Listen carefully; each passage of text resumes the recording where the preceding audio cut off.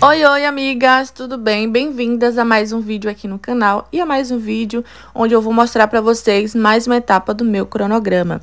Comecei aí separando os produtos. Hoje essa etapa vai ser de crescimento e força. No decorrer do vídeo eu vou mostrar para vocês como duas coisas estão ligadas, uma está ligada à outra, tá? Espero muito que vocês gostem do vídeo, tá bom? Deixa o like, se inscreve no canal e vamos lá, né, gente? Então, para essa etapa de cronograma que está ligada aí na força do cabelo e no crescimento, eu usaria uma loção pré-shampoo que serve para o couro cabeludo. Tô mostrando aí de indicação para vocês esse da Richer, ou poderia ser também um tônico de alho que é para fortalecer o cabelo. Cabelo forte, cabelo grande, cabelo que cresce, né? Mas como eu tô gestante, esse tônico que eu mostrei para vocês, eu não sei se gestante pode usar, tá? A loção também tem ácido salicílico, então não me arrisquei a usar, mas tá aí de indicação. E agora eu vou aplicar o pré-shampoo, que também é muito importante, assim. Eu não faço sempre, tanto que no último vídeo vocês viram que eu não fiz. Mas eu senti necessidade, porque eu ia fazer uma lavagem mais profunda. E apliquei esse creme, é um creme de pentear mesmo, da Simple Bee. Ele é muito cheiroso, muito levinho e não iria prejudicar, né, na hora da aplicação da máscara. Que é importante também o nosso comprimento tá ali é, com a cutícula aberta para receber o nosso tratamento.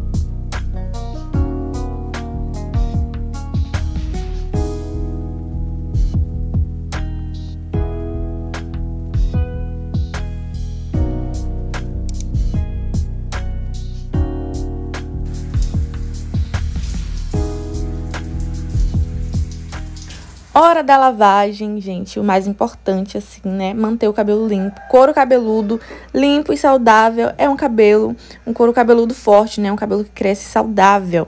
Comecei usando um shampoo hidratante, esse da Richer. Tem um cheiro de chocolate muito, muito bom. Ele tem aminoácidos e colágeno vegetal. Ou seja, gente, vai fortalecer muito aí a raiz do meu cabelo. Eu amo demais. Pena que a máscara acabou caindo no meu box e quebrou. Mas a linha completa é perfeita. Se eu não me engano, tem vídeo aqui no canal, tá? É, eu apliquei duas vezes esse shampoo que eu mostrei pra vocês. E depois eu vim usando o Deodora, que é pra crescimento.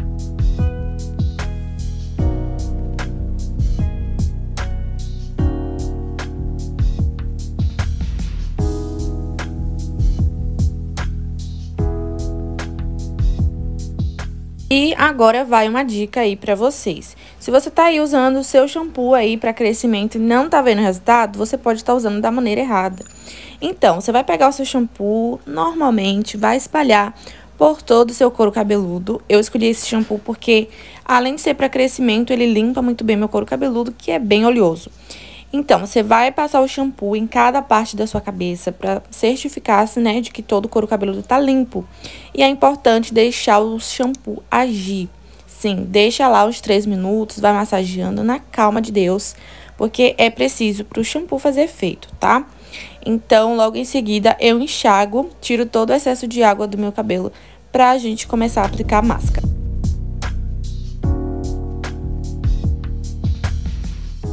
De máscara, eu escolhi essa da MAB, né, Marco Antônio de Biagi, que é uma máscara profissional desse cabeleireiro, que eu simplesmente sou apaixonada nessa máscara. Ela é de crescimento e força, que é o principal, né, etapa desse cronograma de hoje. Então, vamos lá cuidar do comprimento do nosso cabelo. Essa máscara tem extrato de jaborandi, extrato de bisco e Kera Nutri, que é o principal ativo dessa máscara, né, para dar força, força e resistência aos nossos fios. Esse ativo repara os danos causados por processos mecânicos, químicos e térmicos também. Então, ela é ótima para quem usa muita chapinha, muita química, cabelo danificado. E depois eu vou só enluvando ali no meu cabelo, passando próximo é, da minha raiz sem encostar no couro cabeludo. Então, eu puxo o cabelo assim, dessa maneira. Espalho bem, porque eu quero que todo o meu cabelo esteja, né, forte e saudável.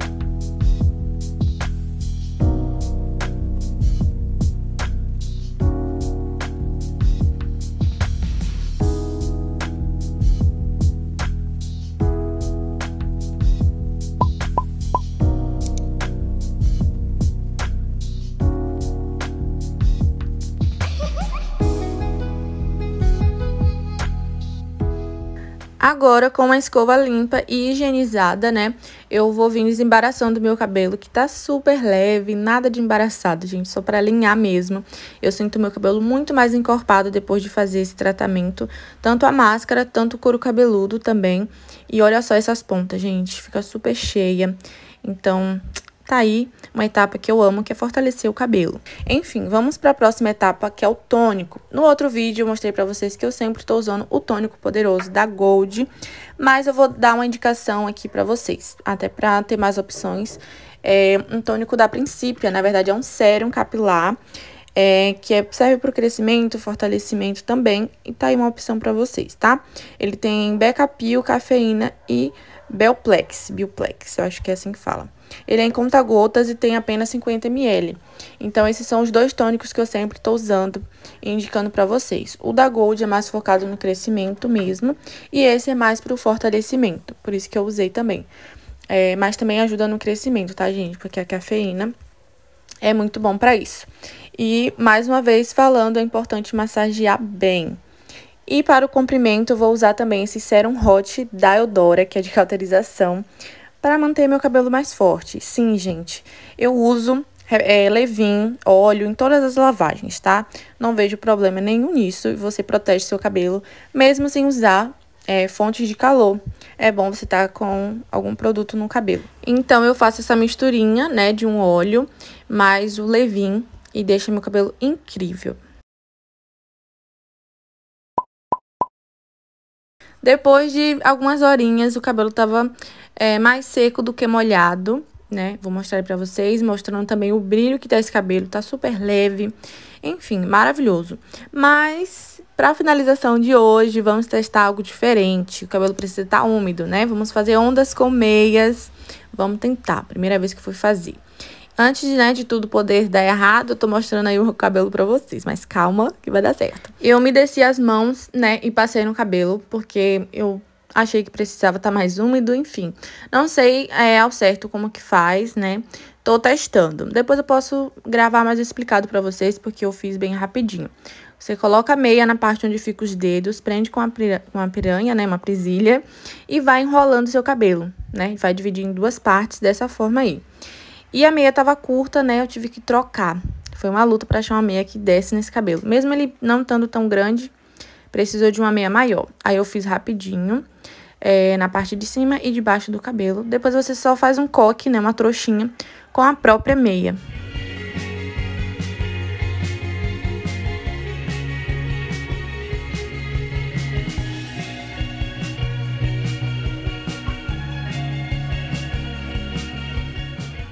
E bora tirar esse babado aí do cabelo, gente. Então, eu esperei mais ou menos duas horas e meia, mas eu acho que eu umedeci demais o cabelo, precisaria dormir com ele. Mas eu sou curiosa, queria ver se ia dar certo e tirei duas horas e meia depois. Já tava tipo 10 horas da noite, 11 horas. Só pra ver esse resultado. Mas enfim, tirei, achei que não ia dar certo pela minha cara, dá pra vocês verem, né? Mas enfim, eu gostei, foi mais ou menos uma prévia. Depois de mostrar esse resultado pra vocês, eu coloquei o negócio de novo, aí depois eu posso gravar. Usei a chapinha na franja, né? Por isso que é importante usar a proteção térmica, né? Tá saindo fumaça, gente, nem tá no máximo essa chapinha. Eu não sei porque aconteceu isso, mas enfim, é normal. É, finalizei a franja, só isso mesmo, e vim passando o óleo reparador. Meu cabelo tava uma seda. É, eu gostei, tava curiosa também para ver se a meia, né, o tecido da meia não iria ressecar meu cabelo, nem nada. E pelo contrário, manteve a hidratação, ficou top. E olha só, a prévia, gente, iria ficar perfeito se eu esperasse mais. Mas aí acho que já dá pra vocês terem uma noção, né, de como que tá o cabelo. Vou fazer de novo. É, pra quem me segue no Instagram, vou deixar o arroba aí na tela e tem link na descrição. Eu mostrei, eu fiz de novo e ficou também bem mais bonito. Vou testar de novo, porque é tudo prática, né, gente? Não é um pouco fácil de colocar essas meias, não. Mas enfim, o resultado ficou assim da hidratação de hoje, né, do cronograma de hoje. Cabelo tá forte, saudável.